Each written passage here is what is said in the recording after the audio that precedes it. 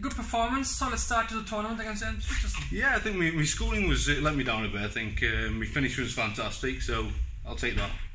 Last week you had a tough loss in the decider, which at our sector uh, 160, you standing on 40. How hard is it to process those defeats?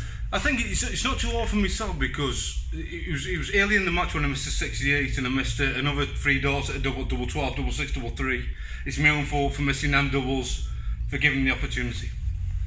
How is it to fight back in the Pro Tour and the rankings? is, is it hard for you? Oh, definitely, yeah. I mean, the, the players know it's um, if you're not playing really well, you don't win. So it's, it's good.